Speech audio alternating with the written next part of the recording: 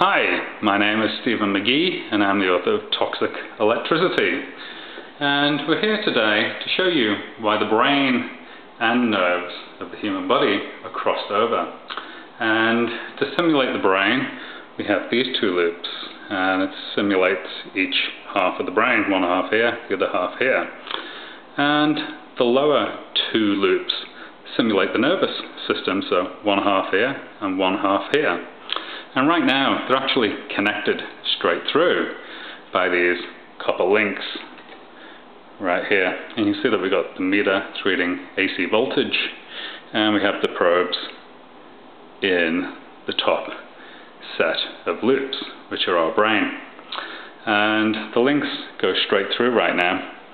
So this loop is connected to this loop, and this one is connected to this one and there is no connection between each half right now. And you can see that right now we're reading 0.209 AC volts and that's coming from this AC cable that we have hanging down at the back. So our AC cable is actually radiating AC voltage into these loops and we're reading it off our meter. So let's get a stable reading. So right now we're reading 0.210 AC volts. So what I'm going to do, I'm going to pull out the straight loops right here.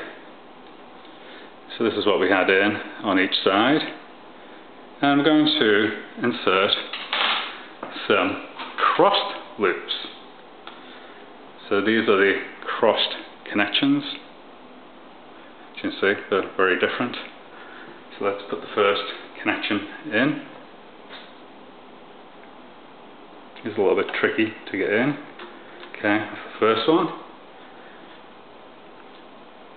And here is the second one.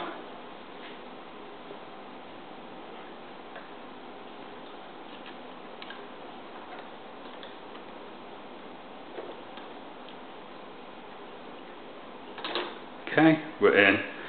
So both loops are now crossed. So this one right here is connected to this one, and this one right here is connected to this one. So we now have an arrangement that's just like the human brain and the human nervous system, and that cross occurs at the base of the brain.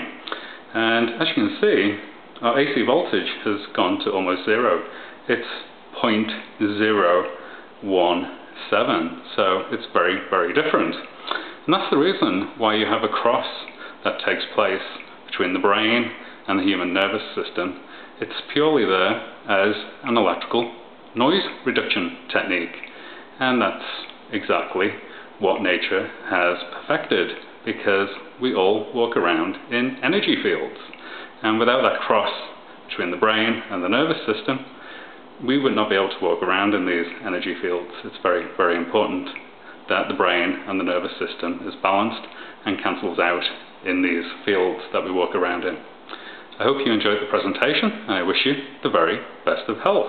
Thank you.